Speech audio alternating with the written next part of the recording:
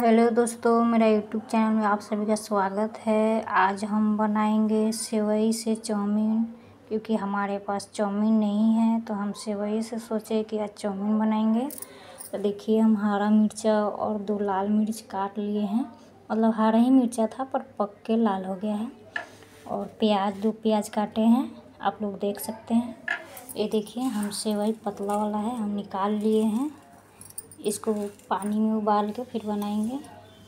और देखिए, ये बंदा गोभी पूरा पतला पतला काट ली हूँ। धनिया पत्ता भी काट ली हूँ, शिमला मिर्च। क्योंकि हमारे पास जो भी सब्ज़ियाँ था, वो सब हम काट लिए हैं चाकू से।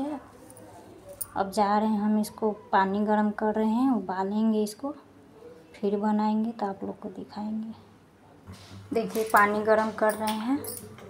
और एक चम्मच उसमें तेल डालेंगे हल्का, क्योंकि हमारे पास सरसों तेल है रिफाइन तेल नहीं है। फिर डालेंगे इसलिए कि वो सेवई चिपकेगा नहीं।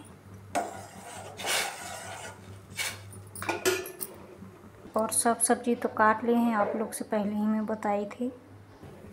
और इसमें आधा चम्मच हम नमक डालेंगे। सेवई में पूरा अच्छे से मिक्स हो जाएगा तो अच्छा लगेगा। फिर ऊपर से डालना नहीं पड़ेगा। इसमें सेवई को डालेंगे उबलने के लिए। अब इसको अच्छे से थोड़ा चला देंगे।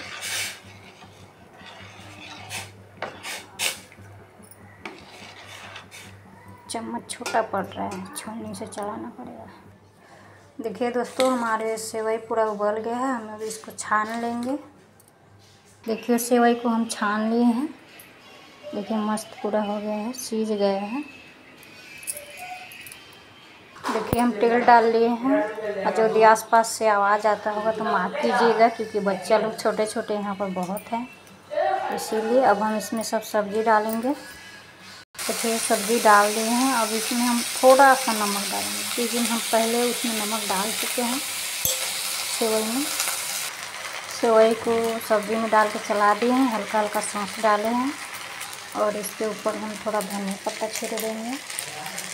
ये खाने में भी स्वादिष्ट लगेगा और देखने में भी अच्छा लगेगा।